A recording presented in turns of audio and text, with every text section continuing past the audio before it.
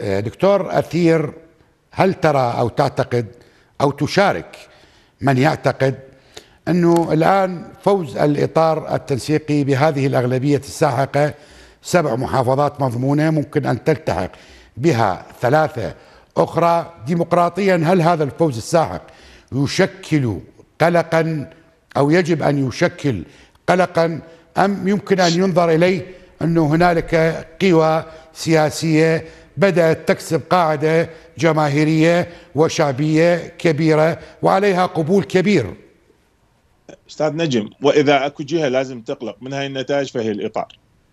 يعني لو كان أكو منطق آه، وتفكير منطقي عند الإطاريين لازم يقلقون من هاي النتائج. السبب لأن شنو الإطار آه، في محافظة مثل نجم محصل لي 40 ألف صوت شو بالله دصفن اللي بالله؟ شو دصفن بالله أنت؟ في بغداد اللي بيها 9 ملايين ونص كل قوى الإطار المجتمع اللي صار لها 22 سنة ممسكة بالسلطة رؤساء وزراء سابقين وقيادات وما أعرف شنو كلهم يا الله جايبين لهم 420 ألف صوت م. يعني أقل من 5% من سكان بغداد م. يعني اني اليوم لو أفكر بشكل منطقي أقول هاي النتائج تعبير عن دعم شعبي لو هاي النتائج إجت تحصيل حاصل لقانون انتخابي مفصل تفصيل على قوى السلطة في عدم وجود منافسة حقيقية يعني الإطار من ينافس؟ نبني نافست دوله القانون القانون نافسه قوى الدولة يعني وين المنافسة الحقيقية والمنطقية اللي صارت؟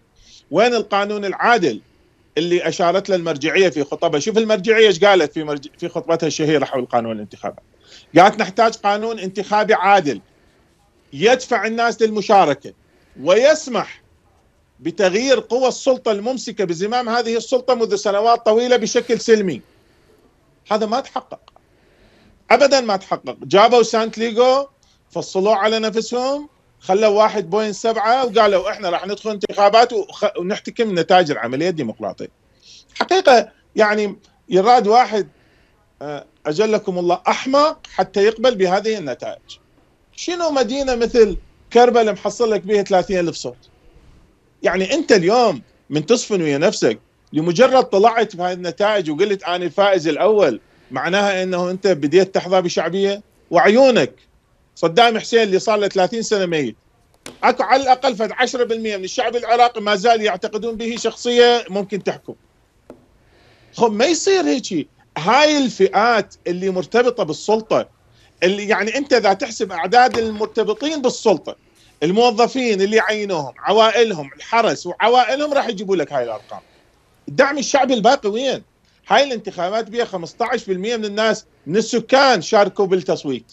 ال 85% البقية دول شلون تتعامل وياهم؟ يعني الآن ما أعرف يقول لك يقول لك هو الآن أنت الذي تدعوه أنه أكثر واحد يجب أن يراجع نفسه وأن يخجل من هذه النتائج.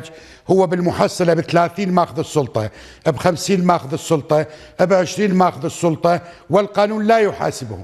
هو المهم الغاية قد تحققت بالنسبة له كحزب. يعني وين الخلل؟ نجم القوة القوة مركب من عدة عناصر.